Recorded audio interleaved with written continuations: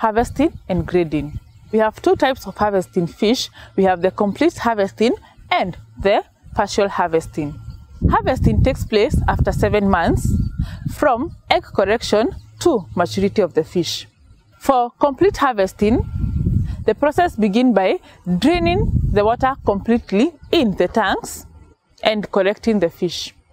In partial harvesting of the fish, we correct a selected amount of the fish from the ponds or the tanks.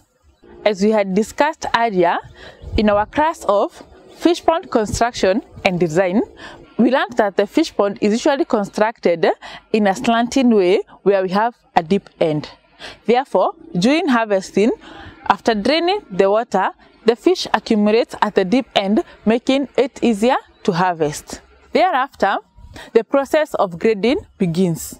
We grade the fish according to the size of the fish harvested. Grading is done to meet the market demand according to the sizes of the fish.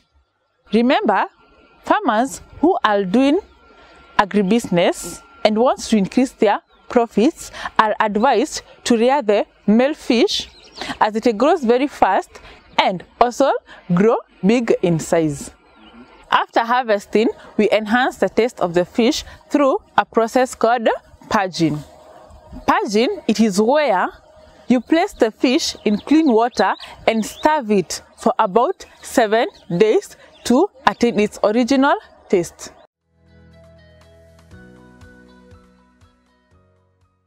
After harvesting and grading the fish, we now do the processing of the fish. Processing of fish involves 1.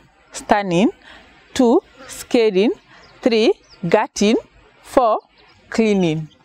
What is stunning? Stunning is a process where you hit the head of the fish with a blunt object. This kills the fish, making it easier to handle in the other subsequent processes. Scaling, it is where we remove the scales on the surface of the fish as they are not edible. Gutting, it is where we remove the intestines of the fish as they are also not edible. The fourth process is where we clean our fish. This is done using clean running water to remove the gut remains and blood. After processing our fish, we have to preserve the fish depending on the market demand and distance to the market. We have to ensure that our fish gets to the consumer at the right quality. So we have to preserve our fish. You can refer to what we had discussed about fish preservation in our previous lesson.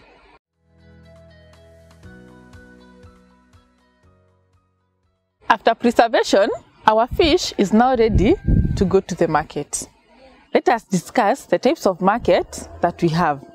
We have the local market and the international markets. What is available in the local markets? For the local markets, we have one, the schools, two, hotels, three, supermarkets, four, open air markets, five, households, and number six, we have uh, hospitals. For the international market, we depend on the international consumers. How do you ensure that your fish gets the local market? You can sign a contract with the consumers either in the hospitals or in the supermarkets. You can discuss with the local consumers on the time to deliver, the quantity to deliver, the quality to deliver, and the price at which you're going to deliver the fish, and also the payment agreements.